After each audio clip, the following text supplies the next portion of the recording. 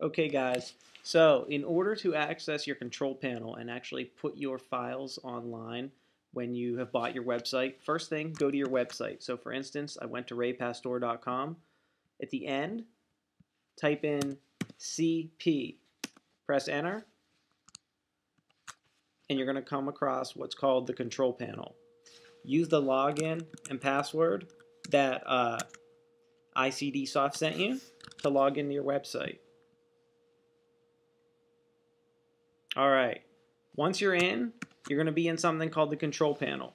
You guys are going to see all kinds of different things here, um, some of which I'm going to go over the next class that we meet. But what I wanted to show you today is how to actually put your files online so that they are at your website instead of just on your computer. So you're going to click the File Manager.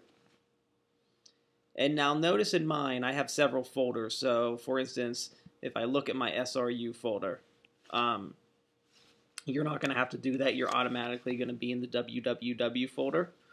What you're going to do, you're not going to worry about any of the permissions.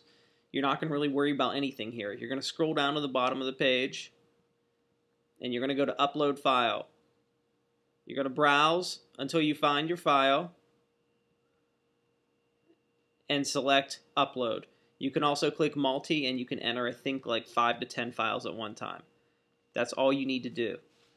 Upload, enter the file, and then you'll see it here on the side. Notice my index.html file is here. Then you can simply go and check your website to make sure it's all working, and that's all you do.